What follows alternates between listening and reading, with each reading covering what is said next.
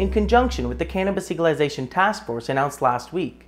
The Trudeau government also introduced a way for Canadians to express how they think the policy should be implemented. In the form of a series of extremely thorough online surveys located on the government's website, Canadians are asked their opinions on five topics minimizing harms, establishing production and distribution systems, enforcing public safety, and medical cannabis. In regards to harm reduction, the government asks respondents to consider several issues, including introducing a minimum age for purchase, advertising restrictions, taxation and pricing, limits of allowable THC, restrictions on extracts and edibles, limitations on quantities for personal possession, and limits on where cannabis can be sold. It then asks if these measures are appropriate to achieve the overarching objectives to minimize harms, and in particular to protect children and youth, or if there are other actions the government should consider enacting alongside these measures. Finally, it asks what the minimum age for purchasing and possessing cannabis should be, and if this should be consistent across Canada. The next section of the survey covers the production of cannabis. It starts by asking for the most appropriate production model to best meet consumer demand while ensuring public health and safety. It further asks how producers should be regulated. Next, the government asks to what extent home cultivation should be allowed, and what, if any, government oversight should be put in place. Thirdly, it asks if licensing or other fees should be introduced. Finally, it asks if the rigorous requirements over the production, packaging, storage, and distribution of marijuana found in the current medical access program are appropriate for the new system, and what role existing licensed producers could have in the new system.